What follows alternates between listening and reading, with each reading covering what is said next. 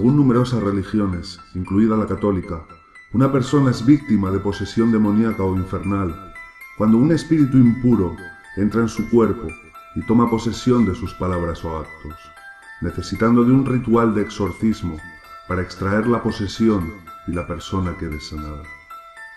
Muchas veces, por la gravedad de la situación, por los sorprendentes actos realizados o por la cantidad de testigos, estos hechos saltan a la luz pública, produciendo una sensación de estremecimiento en la ciudadanía.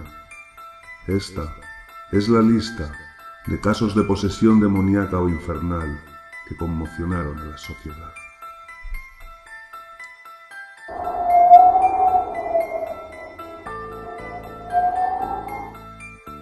Corría el mes de septiembre del año 2000, cuando el Papa Juan Pablo II saludaba a los 40.000 fieles congregados en la plaza de San Pedro durante una audiencia general.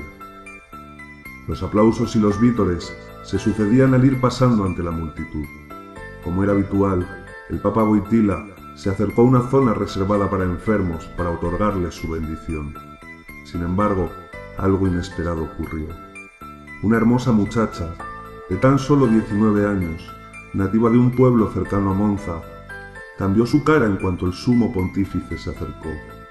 Sus rasgos dulces se tornaron grotescos, pasando a muecas imposibles, y ante el horror de los miles de fieles, decenas de blasfemias resonaron por toda la plaza sobre el silencio sepulcral que se hizo. Los guardias rápidamente se abalanzaron sobre ella ante el temor de un atentado, y entre seis hombres entrenados apenas lograron sacar a la joven, que de repente mostraba una fuerza sobrehumana de entre la multitud. Juan Pablo II observó la escena y pidió que acabada la audiencia se la llevaran, mientras el obispo Danzi corría crucifijo en mano tras el grupo, a lo que la muchacha respondió con escupitajos y obscenidades ante la cruz. Una vez acabado el acto, la joven fue llevada junto a sus padres ante el Papa, que le realizó un duro exorcismo que aparentemente calmó a la chica. Según cuentan, la muchacha reaccionaba con extrema violencia cuando las gotas de agua bendita caían sobre su piel. Sin embargo, la calma en la que se sumió fue solo pasajera, puesto que a la mañana siguiente todo volvía a estar igual. El obispo Danzig y el experto exorcista Gabriel Amorth le realizaban de urgencia un nuevo exorcismo. La joven se reía a carcajadas con un tono grave y varonil, e insultaba a los oficiantes, jactándose de su tremendo poder, diciéndoles que ni siquiera su jefe había podido vencerlo. Cinco años de exorcismos necesitó la chica para recuperar la normalidad, que según cuentan las crónicas del Vaticano, ahora lleva una vida ordenada y tranquila, tras ser expulsada de su interior una de las posesiones infernales más potentes y longevas de las que se tiene constancia, que incluso uno de los papas más queridos de la historia no pudo con ella.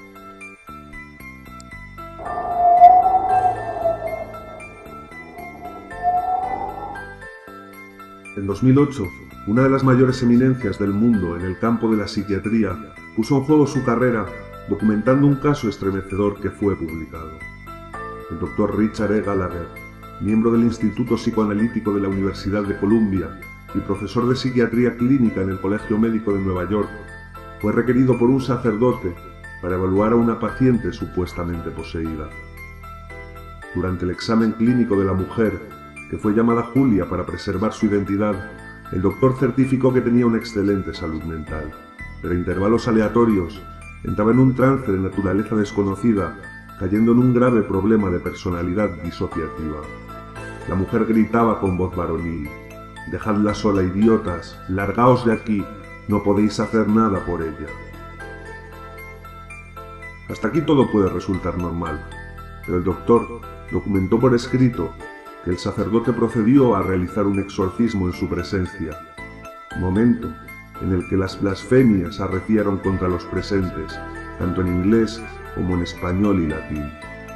Numerosos objetos en la habitación se elevaron, levitando para después caer al suelo, e incluso el propio cuerpo de la mujer se elevó del suelo 15 centímetros durante media hora completa. Tras unas sesiones, Julia recobró la normalidad y el doctor sigue sin explicarse lo que allí sucedió.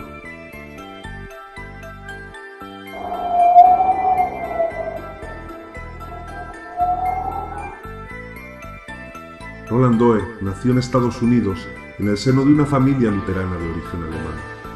Todo en su vida fue normal hasta que a finales de los años 40, cuando tenía 13 años, su tía Harriet falleció.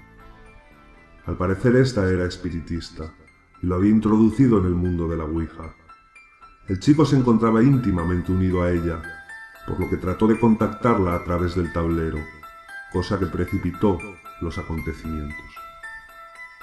Pasos por la casa, objetos que volaban y se estrellaban, cuadros que se movían golpeando la pared y multitud de efectos inexplicables.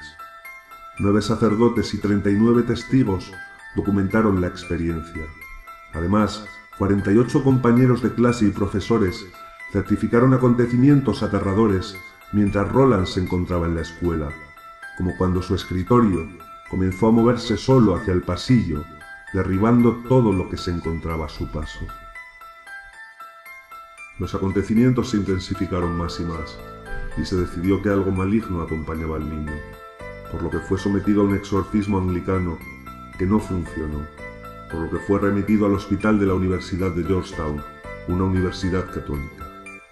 Al practicarle el segundo exorcismo, el niño saltó sobre el pastor, causándole heridas de tal magnitud que necesitaron sutura de urgencia e interrumpir el ritual.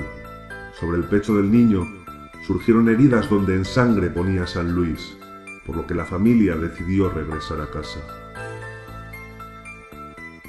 Allí contactaron con los reverendos Raymond Bishop y William Bowden, junto a más sacerdotes y psiquiatras lo intentaron otra vez.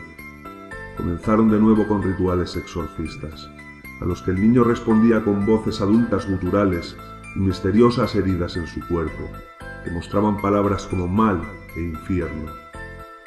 Finalmente, tras 30 sesiones, un gran trueno resonó por todo el hospital donde se encontraban, como si una presencia abandonara el cuerpo del niño de repente, y éste quedó sanado. La historia de Roland inspiró la película El exorcista, y tras su experiencia volvió a ser un chico perfectamente normal. Se convirtió en un hombre de éxito, formó una familia y todavía vive en la actualidad.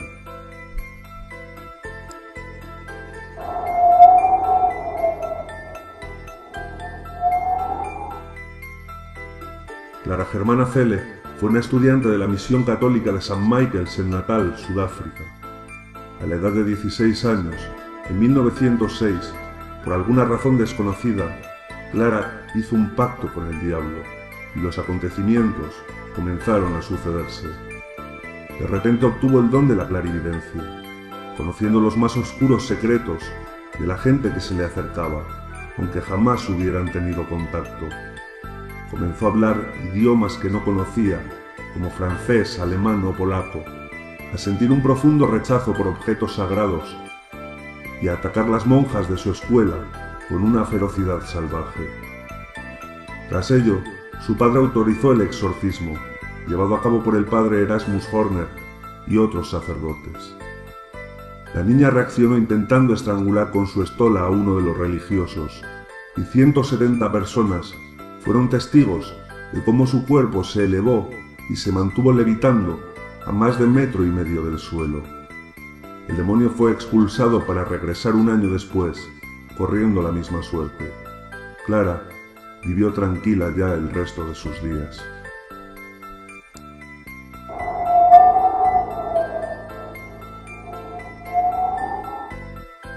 Si hay un caso espantoso en cuanto a las posesiones demoníacas, tanto por lo trágico como por lo documentado, es el de Annelies Michel, cuya historia fue llevada a la gran pantalla inspirando la película El exorcismo de Emily Rose. Annelies fue una chica alemana que formaba parte de una estricta familia católica. A la edad de 17 años, en 1969, comenzó a padecer extraños ataques y a pesar que tuvo atención médica, su situación no hizo más que empeorar con los años y empezó a manifestar síntomas de posesión demoníaca.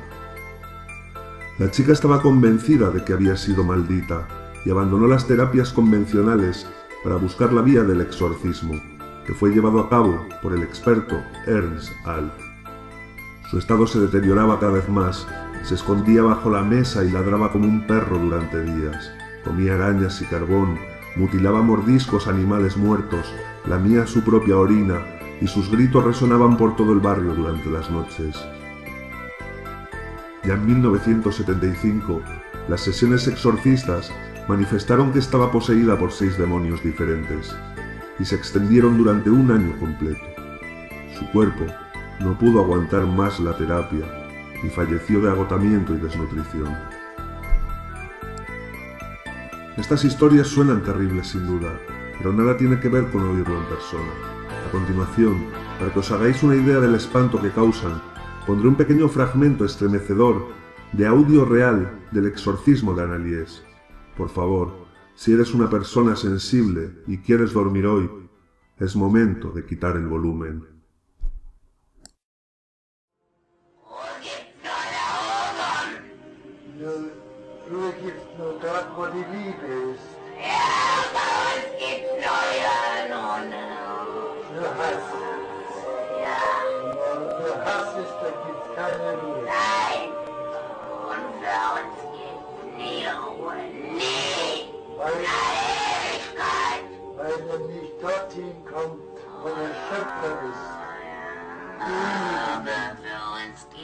I'm going.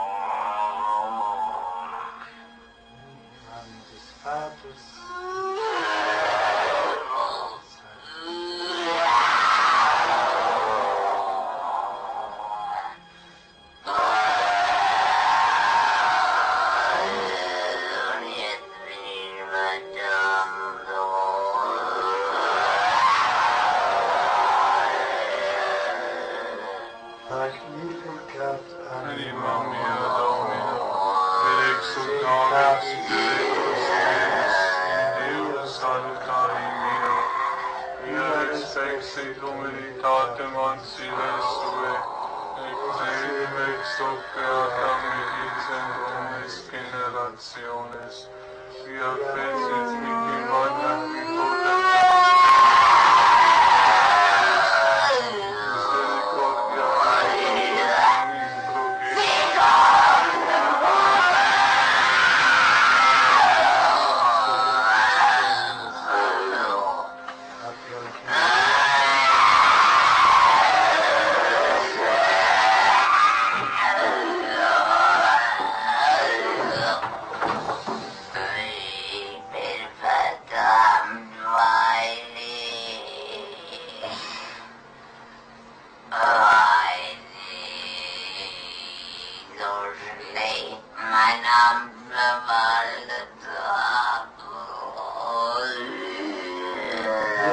Wer bist du? Judas. Nein, Fleischmann, ja, ich muss jetzt gehen. die Hölle, ja. Und du weißt noch, was du zu sagen hast?